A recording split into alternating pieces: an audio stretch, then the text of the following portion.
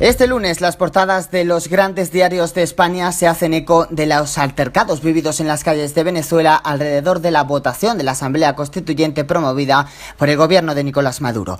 Las cabeceras llevaban a primera página una llamativa fotografía que pertenece a una explosión que ha atentado contra la policía venezolana presuntamente provocada por manifestantes de la oposición y en el que siete agentes han sido heridos. En este vídeo se aprecia lo que sucede en las calles de Caracas al paso de la caravana policial.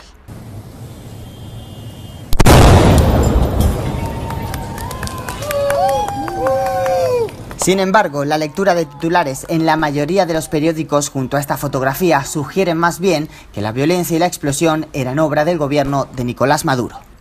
El diario ABC lleva esta fotografía a tamaño completo y titula como Maduro encubre con violencia y represión el fracaso de su constituyente.